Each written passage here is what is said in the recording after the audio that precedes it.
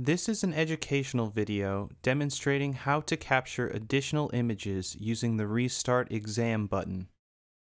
If needed, a completed exam can be restarted to capture an additional view or views.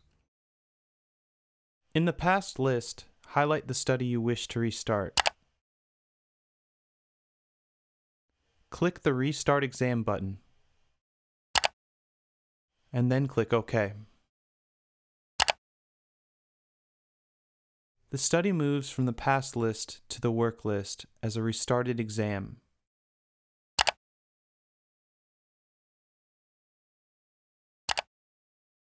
To continue with the restarted exam, highlight the patient on the work list, and using the Edit Exam button, add the desired view or views, and start the exam.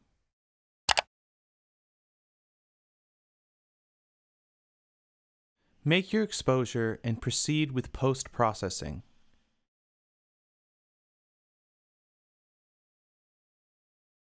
Note that the thumbnail images appear yellow, which means they have already been sent to PACS. Once you end the exam, only the images captured with the newly added protocols will be sent to PACS. Thank you for watching. For more educational videos, please visit our Knowledge Center at www.coremedicalimaging.com.